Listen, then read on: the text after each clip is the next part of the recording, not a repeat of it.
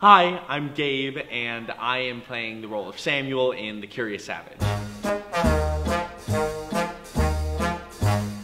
So, The Curious Savage is a show about a madhouse called the Cloisters, and a woman who gets sent there by her three awful children, of whom I am one.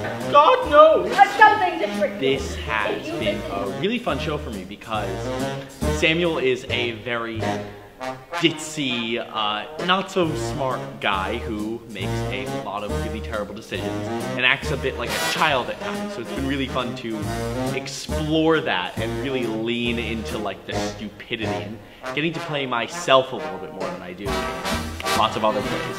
So yeah, it's a really good time.